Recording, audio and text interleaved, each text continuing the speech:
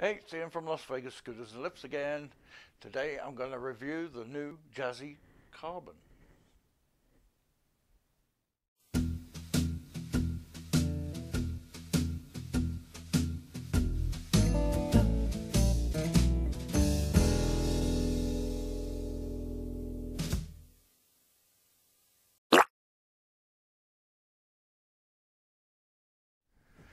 Okay, so here it is.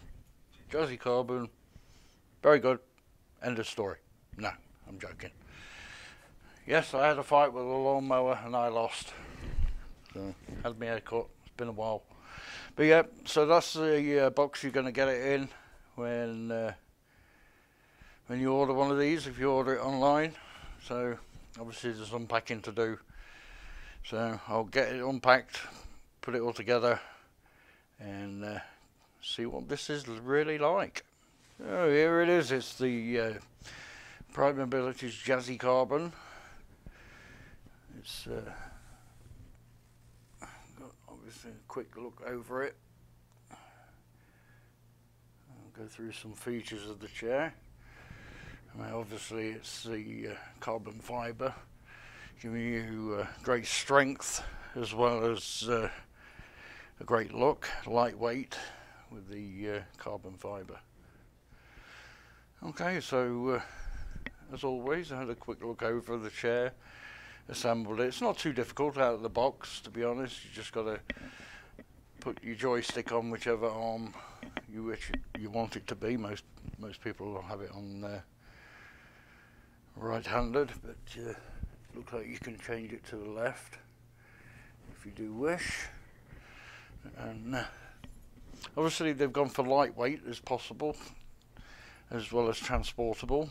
So it uh, it'll have a lithium-ion battery, and it, obviously its key feature is its uh, its carbon fiber design. The cool logo on the side there.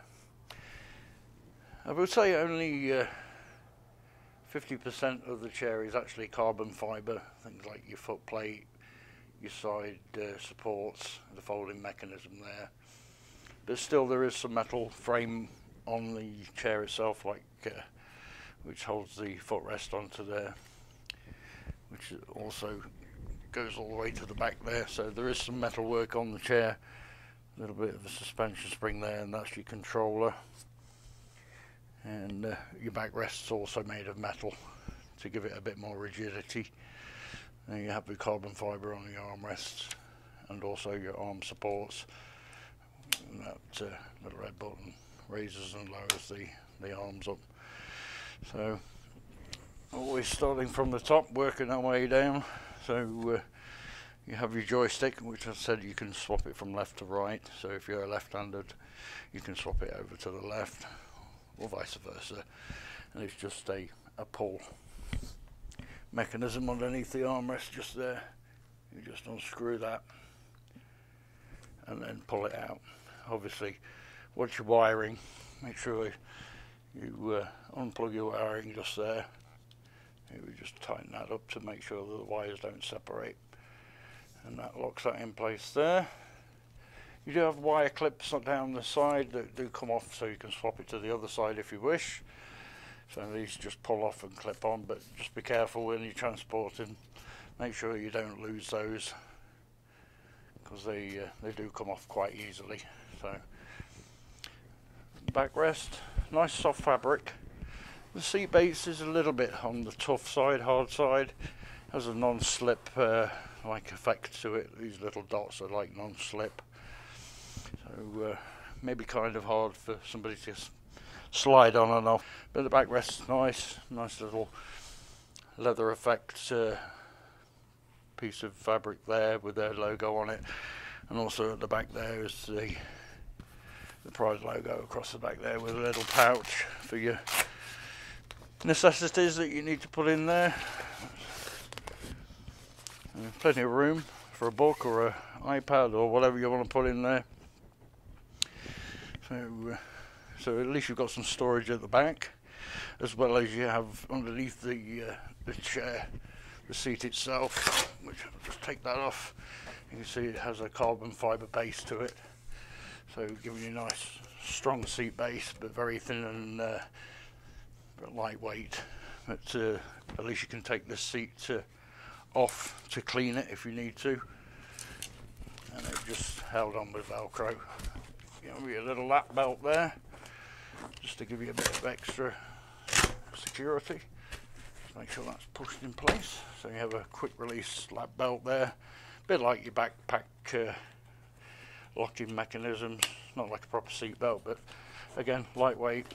Most people don't use them, but it's there if you need it. Yeah, the backrest is nice and soft by the feel of it, nice and plush. And like I showed you, both armrests do uh, lift up out of the way. I'll just retighten that joystick up. And uh, just by using the red button there, so you can lift them up out of the way if you need to and that's where you would change your joystick from one side to the other, screw it in there, take that cap off, and then it goes into that uh, carbon fibre there, armrest. So, so far, not so bad. So your joystick has all your usual controls. I'll just sit on it because it's going to be easier. So you can get a, an eye view. So you have your on button, horn button, slowest, fastest and then just usual joystick control also underneath the joystick you have flip it up make it easier your three pin uh, charging port and also a USB port there as well for charging your phone or other devices on the go. There is that. It's a kind of new feature for power chairs. Underneath the seat you have another little storage pouch there which is actually detachable via the press studs there. So if you do want to take it off and wash it you can. If you spill a drink inside of it it's uh, not too bad. You can always uh, unpop it with pop studs like that and then clean it or whatever you need to do and again you You've got again you've got your Pride logo just there as well. Underneath the seat is your battery pack, just located under there. It's a 24 volt 12 AH amp hour battery pack and there's a little button if you can see it just there and that's how you would release your uh, battery pack just a little button underneath and that releases it pulls out like that. So you do have the symbols for airline friendly because it's underneath the uh, what hours of uh, what the FAA recommend and that gives you your 12 volt 12 AH just there for your battery pack so if you do transport this chair and you want to just charge the battery and not bring the chair in you also have a uh, charge port on the battery pack there. So that's a good feature. Always like that. There's a little handle there for carrying or pulling the battery in and out but I recommend you place the battery on the tray there and slide it. Once it's located slides in. There's like two runners either side. It will slide in so far but you have to use the release button to, to seat the battery and just pull the little lever underneath there. There if you can see it there. And that locates the back battery in its final position. Your little footrest there again carbon fiber. It's a nice feature. It's uh, you can see the, the weave of the carbon fiber that raises up and when you fold the chair there is actually a little strap that you uh, wrap around this portion here to lock the chair when you're transporting it. That's what these uh, two little pieces of fabric are there. I'll show you that when I fold it. So on the front you have these little springs here for a little bit of suspension as well as your red reflectors just so uh, people can see you with it being black. If you're out and about at night at least they've got a bit of reflection there. So you've got a bit of suspension on the front wheels. There's your drive wheels at the back along with your, your Jazzy logo and the carbon fibre strut there the folding mechanism down to the motors. So two individual motors as are wheelchairs as well as your anti-tip wheels. One either side below the motors protect the motors as well as anti-tipping.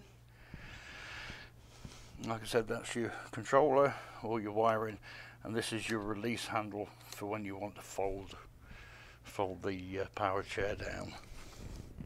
Looks like they have two suspension springs for the rear just to give you a little bit of comfort back to your motors two reflectors again at the back there as well as your your brake freewheel levers pull them towards you to freewheel the scooter or power wheelchair in this case and then push them forward to lock. There is actually a symbol on the side that the motor's just there and just there. So you know which direction to put your motors in case you need to freewheel it. On the back backrest portion there's a nice uh, spongy handle there for anybody who wants to push you around if you need to. So if you put them in freewheel you've got a nice handhold there and push the power chair around. This side's pretty much the same as the other, except you've obviously got this wire there and uh, the release button there for the armrest, and that just swings out of the way. Nice bit of carbon fibre there. And then it just clicks into position. Easy to operate, easy to fold, easy to uh, transport. That's what uh, Pride are going for this uh, Jazzy Carbon. Yeah, I think they're calling it the Travel Lite. So release mechanism at the back here. This is how you would fold the chair. So I'll kind of put it in this position so you can see a bit better.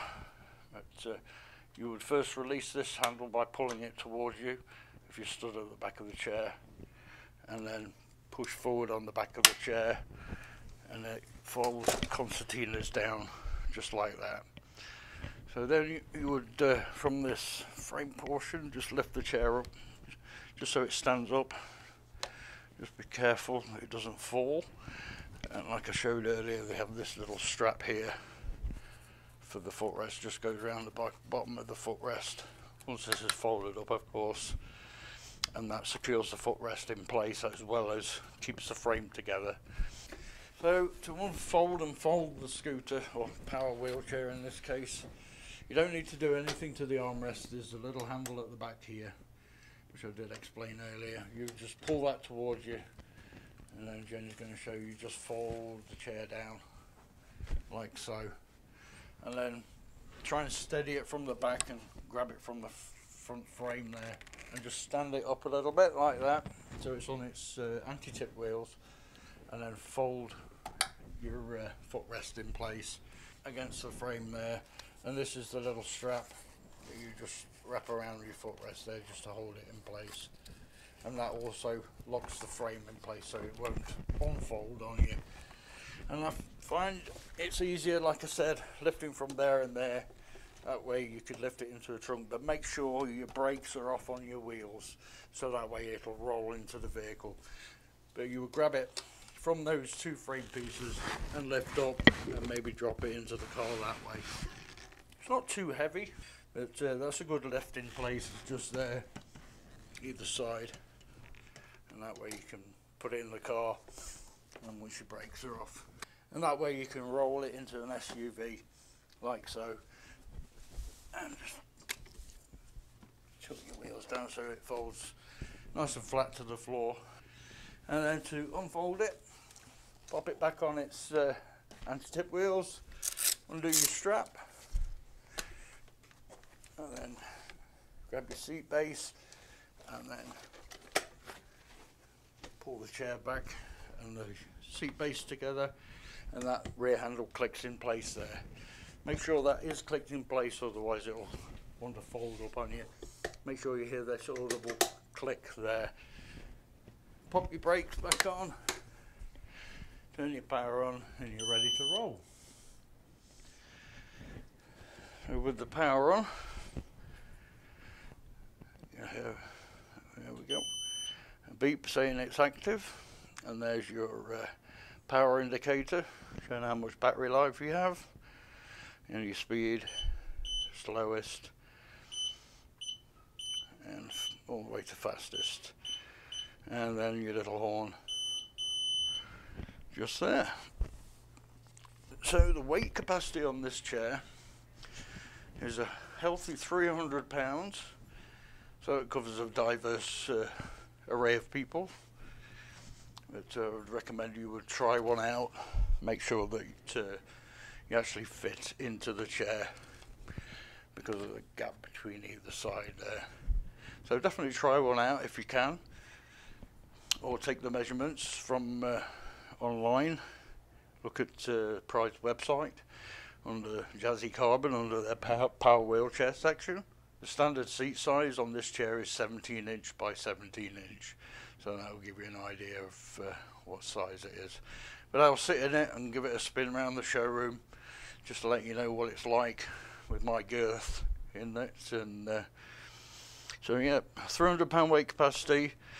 And top speed is 3.7 miles an hour, which is pretty average for these uh, power power wheelchairs. So uh, rear drive motor, and uh, you look at um, 250 watt uh, brushless motors, so there's no brushes in there to sort of wear away. So it's about a motor design. The range per charge, so uh, what you're looking to get out of the chair is going to be about 9.3 miles, but that obviously will change for a heavier person or different kind of terrains if you're going up a lot of steep hills the, the mileage range will actually go down and that's to be expected now the total weight of the chair and that's with the battery included on the power chair is going to be 43.6 pounds the battery only weighs 4 pounds so the base without the battery would be about 39 pounds, a half pounds 39.6 pounds so it's uh, still in its heavyish class. It's not too heavy, but uh, I find it easy to lift, but I'm kind of able to do it. Somebody who has lifting problems may need somebody to help just to uh, get it in and out of a car. So really there's not a lot to these uh, power chairs to be honest, it's just the odd features on it that I've just showed you, the seat belt, the seat, the carbon fibre, obviously, that's the big thing they're going for, is light and uh, robust. It's kind of cool, nice. Uh, the carbon fibre weave showing through on the uh, on the frame pieces there as well as the armrest. So something different. I'd like to be different. And uh, I do know that Golden have also released a carbon fibre version of their power chair. I think they call it something like the Nutcracker or the Cricket, I think it's called. I don't know what cricket's got to do with carbon fibre, but I guess they have to think of some name. But yeah, so uh, yeah, we knew about this prior prior to them releasing it uh, Medtrade, which was in Georgia this year in October, I believe. Uh, so we got one in. A customer ordered one of these actually, so uh, we're looking to have this in. I can now give it a little bit of a test drive see how it performs against other wheelchairs. So, uh, sit my big butt down. Oh, I've got plenty of room. So, plenty of room left and right in the seat. It's not sort of catching on, on me at all. It's not catching my sides, so it's very comfortable. I was expecting the seat to be a bit harder. It is a little bit hard on the seat cushion. Feels like a gel or a memory foam base. Seat back's okay. There's a little bit of give in the chair. But uh, my big boat's on this uh, little footrest. If I want to put my feet there, they're really hanging off the end. So, and it does flex quite a little bit there. But I'm up in the uh, 225 range. Five foot nine as always. I'm probably a bit lighter now. I've had my hair cut, but but yeah, my feet, I definitely recommend somebody put they've got big feet like me, put them on this uh, against this back bar. But it may it may uh, irritate you after a bit, but uh, I wouldn't recommend putting your feet right out like that. You're susceptible to catching your feet on something. So definitely put my feet inside, closer towards the chair, so I'm uh, seated a bit better. But uh, So yeah, normal controls for a joystick, joystick left, right, forward, back, as well as diagonal, left and right. So, and there's your speed setting like I showed you. I'll start off with the slowest. Horn's a little bit louder than normal, but not by much. It's not uh, like your train horns on some trucks. But uh, yeah, so to operate the chair, just normal as any other power chair, you just face it to the right, and it spins to the right, 360 degrees just back up a little. There is that annoying reverse beep. I'm sure your dealer may be able to get rid of that for you, but it's a safety feature just for other pedestrians knowing that you're actually going backwards and you don't uh, run them over. But yeah, just a full turn 360 and again the other way. You can tell it's a brushless motor, you can feel it uh, has like a, a grinding start in the motor, but once it's going, it's uh, it's uh, pretty smooth. So, so yeah, forward as well.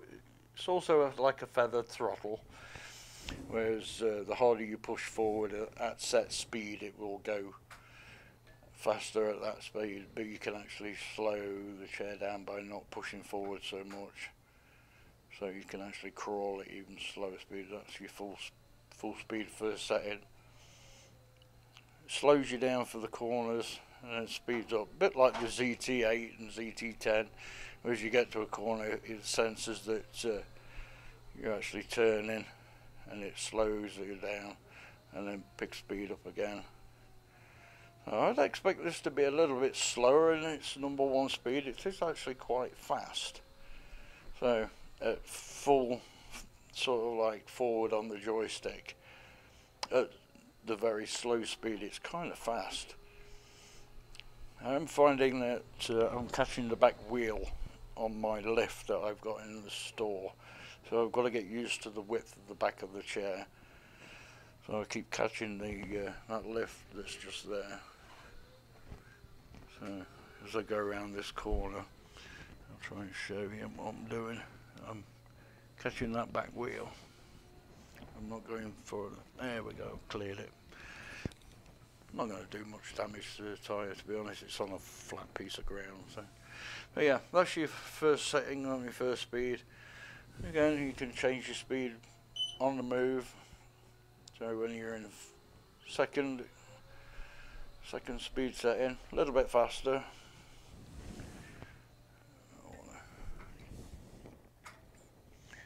Just make sure I clear that. Uh, yeah, it does go a little bit quicker in second uh, speed. Go a bit faster, third. It's normally when you're going just straight on it'll speed up.